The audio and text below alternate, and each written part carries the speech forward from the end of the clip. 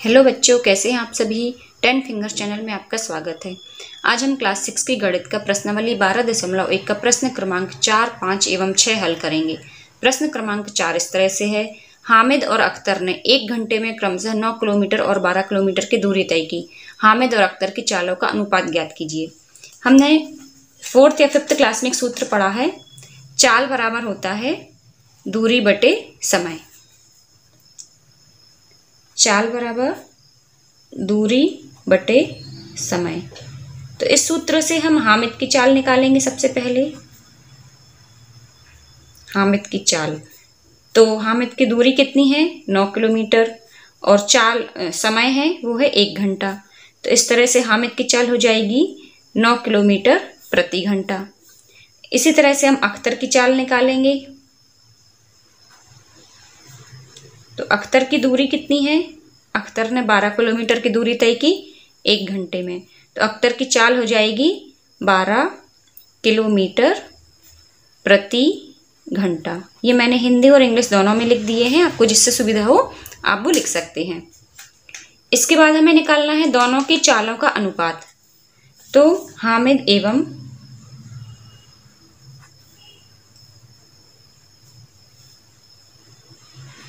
अख्तर की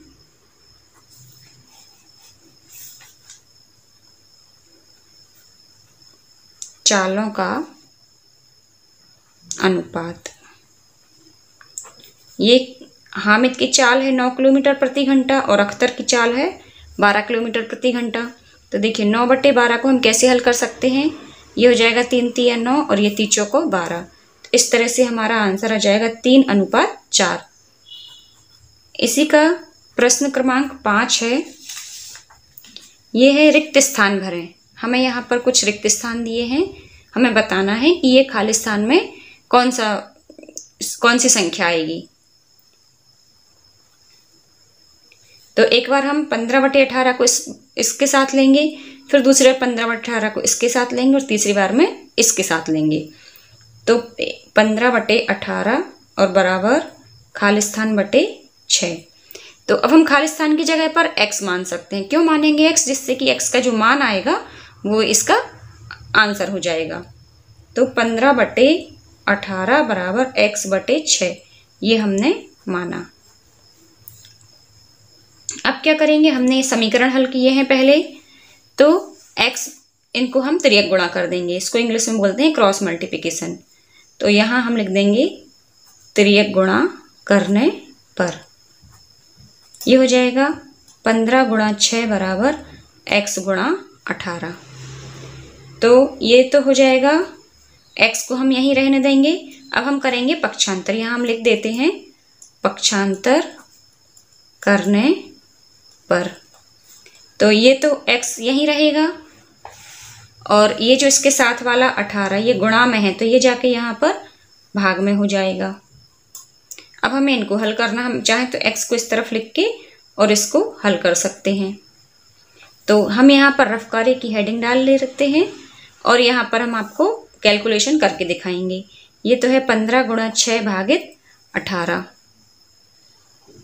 तो ये देखिए, ये हो जाएगा तीन से कैंसिल तीन दूनी छः और तिछम अठारह। दो से भी कर सकते थे और ये दो एकम दो दो तीन छः इस तरह से पंद्रह गुणा एक बटे तीन, हम इसको स्टेप बाय स्टेप लिखते जा रहे हैं। अब ये तीन से कट जाएगा, ती पाँचे पंद्रह। तो आंसर आ जाएगा हमारा पाँच, यहाँ पर। अब ये जो हमने खाली स्थान बनाया था, इसकी जगह पर हम लिख देंगे पाँच, और ये हमारा हो जाएगा आंसर। इसी तरह से हम अब इसका दूसरा वाला लेंगे। पंद्रह बटे अठारह बराबर दस बटे खालिस्तान ये हम लिख सकते हैं लेने पर, या नहीं भी लिखें तो भी चल जाएगा। अब हम इसको हल करेंगे।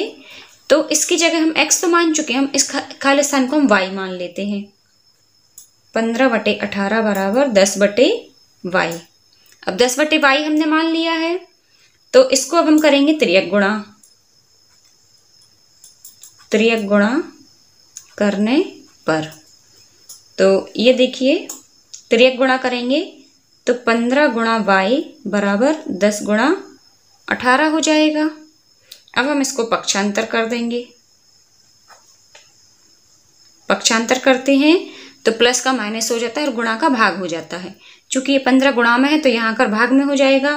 तो y बराबर दस गुणा अठारह भागित पंद्रह। अब इनको हम हल कर लेंगे। तो वैसे ही हम साइड में रफ कार्य डालेंगे हेडिंग और इसको हल करेंगे। यह है दस गुणा अठारह भागित पंद्रह।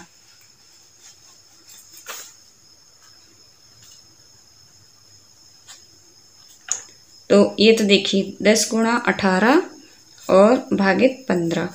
तो ये तो तीन से कट सकते हैं तीछंग अठारह और ती पाँचे पंद्रह।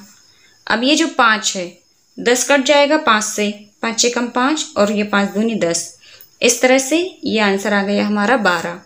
तो ये जो हमने बॉक्स बनाया था, यहाँ पर ये था हमारा पंद्रह बटे अठारह और बराबर था दस बटे, ये जो खाली स्थान था, इसकी जगह आ जाएगा बारह।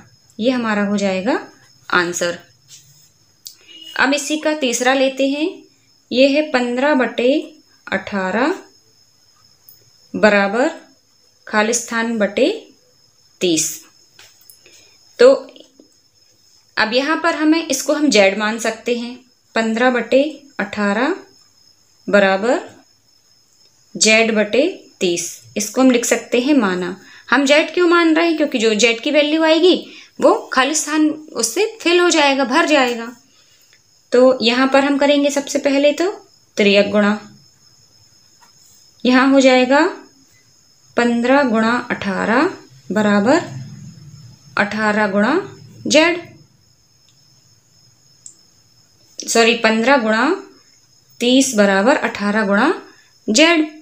अब ये जेड को हम ऐसे ही रहने देंगे, यहाँ पर हम लिख देंगे पक्षांतर करने पर। तो जब हम पक्षांतर करेंगे तो ये तो हमारा हो जाएगा पंद्रह गुणा तीस बराबर। ये जो जेड तो वैसे रहेगा, और ये जो गुणा में अठारह था, ये भाग में आ जाएगा। अब हम इसको यहाँ साइड में रफ कार्य की हेडिंग डाल के हल कर लेंगे। तो ये पंद्रह गुणा तीस भागित अठारह। अब ये देखिए, इसको हम लिख सकते हैं, इसको हम सीधे दो से काट दें पहले। तो ये पंद्रह बार जाएगा और दो नाम अठारह होता है। इसको अब हम काट सकते हैं तीन से। तो तीन तिया नौ और ये ती पाँचे पंद्रह। अब ये जो तीन आ गया, ये हो गया पंद्रह गुणा पाँच भागित तीन। अब ये पंद्रह, तीन से कट जाएगा ऊपर वाला तीन एकम तीन, ती पाँचे पंद्रह। ये आ गया पाँच गुणा पाँच। तो इस तरह से ये हो गया पच्चीस। तो ये जो जेड की वैल्यू आई है, ये आई है हमारी पच्चीस। अब यहाँ पर जो हमने खाली बॉक्स बनाया था, इसकी जगह भर जाएगा पच्चीस और ये हमारा होगा आंसर। अब इन्होंने साथ ही साथ एक और चीज़ पूछी है, क्या ये तुल्य अनुपात है? तुल्य अनुपात यानी कि क्या इन तीनों की तुलना हो सकती है? तो देखिए, जो एक्स वाई और जेड है, इन तीनों के जो मान हैं, वो पूर्णांक में आए हैं, कहीं बटे में तो आई नहीं है या भिन्न में। तो हम लिख सकते हैं हाँ ये तुल्य अनुपात हैं। अब हम इसी का निम्न में से प्रत्येक का अनुपात ज्ञात करें। हमें यहाँ पर अनुपात ज्ञात करना है। तो इसमें दिया है इक्यासी का एक सौ आठ से।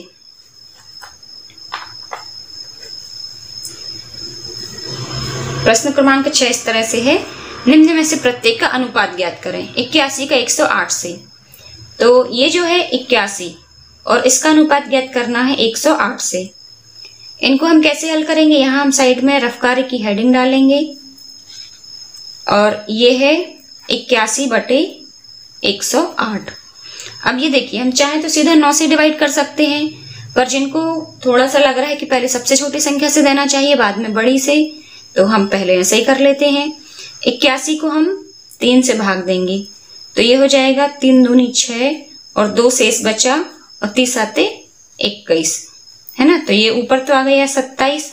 अब 108 को हम तीन से भाग करेंगे तो 108 भागे तीन तीन तिया नौ एक बचा, शेषफल आठ उतारा, तीछन अठारह इस तरह से आ गया छत्तीस। अब ये देखिए, आ गया सत्ताईस बटे छत्तीस। तो अब हम इसको डायरेक्ट तीन से ही दे सकते हैं। तीन से ना देके हम इसको डायरेक्ट नौ से दे देते हैं। बस ऊपर नीचे समान संख्या से भाग देना है। चाहे आप छोटी संख्या लें चाहे बड़ी संख्या लें। छोटी से हमने आपको एक बार बता दिया है, हम इसको भी तीन से, लगभग तीन ही से चार बार और डिवाइड करना पड़ेगा, इसलिए हम बड़ी संख्या ले रहे हैं। तो ये हो जाएगा नौ त्री सत्ताईस और नौ चौको छत्तीस। इस तरह से इसका जो आंसर है वो आ जाएगा तीन अनुपात चार। अब इसी का बी भाग लेते हैं। इसमें हमें करना है अंठानवे का तिरसठ से।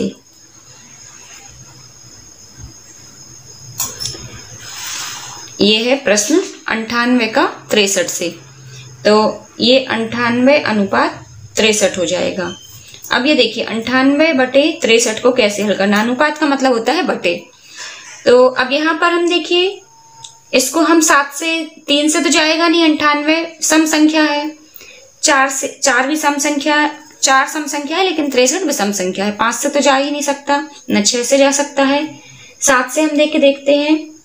तो ये जाएगा, अंठानवे में भाग दें हम सात से तो ये तो हो जाएगा सात एकम सात, दो बचा और ये सात चौको अट्ठाईस सात से चला गया, चौदह बार और तिरसठ तो आते ही सात के पहाड़े में तो ये हो जाएगा चौदह बटे ये नौ, सात नाम तिरसठ। चौदह अनुपात नौ, इसका आंसर आ गया चौदह अनुपात नौ। अब इसी का सी भाग है। इसमें दिया है प्रश्न में तैतीस किलोमीटर का 121 किलोमीटर से। ये हमने डायरेक्ट अनुपात लिख लिया है। तो हम ये तैतीस बटे एक सौ इक्कीस, इसको कैसे हल करेंगे? ये देखिए, तीन के पहाड़े में तैतीस तो आ जाएगा, लेकिन एक सौ इक्कीस तीन से डिवाइड नहीं होगा। तीचों को बारह हो जाएगा, शेष फल यहाँ ज़ीरो, फिर ये एक उतारेंगे तो इसमें भाग नहीं जाएगा तीन से। ना तो ये चार से जा सकता है, क्योंकि चार सम संख्या है, दोनों में सम संख्याएँ हैं। पाँच से भी नहीं जाएगा, छह से भी नहीं जाएगा। सात से देख के देखते हैं, सात के पहाड़े में तैतीस नहीं आता। आठ के, आठ से भी नहीं जा सकता, नौ के पहाड़े में भी तैतीस नहीं आता है। दस से तो जा ही नहीं सकता। अब हम करते हैं ग्यारह से ट्राई। तो ग्यारह थी तैतीस तो होता है, पर ग्यारह के पहाड़े में एक सौ इक्कीस आता है। हाँ ग्यारह ग्यारह एक सौ इक्कीस। आपको ग्यारह का पहाड़ा याद होना चाहिए। ग्यारह थी तैतीस और ग्यारह ग्यारह एक सौ इक्कीस। इस तरह से इसका आंसर हो जाएगा हमारा तीन अनुपात ग्यारह। अब इसी का डी भाग है तीस मिनट का पैंतालीस मिनट से। ये है तीस मिनट, अनुपात पैंतालीस मिनट। तो तीस मिनट, तीस भागित पैंतालीस। अब इसको हम तीन से डिवाइड करेंगे तो तीन धाम तीस हो गए, और तीन एकम तीन ती पंद्रह। अब ये दस बटे पंद्रह आया है। इसको हम पाँच से ही डिवाइड कर सकते हैं। पाँच दूनी दस और ये पाँच त्री पंद्रह। तो इस तरह से आंसर हो जाएगा दो अनुपात तीन। उम्मीद करती हूँ ये तीनों प्रश्न आपको समझ में आ गए होंगे। ये प्रस्तुति टेन फिंगर चैनल की ओर से थी। देखने के लिए धन्यवाद।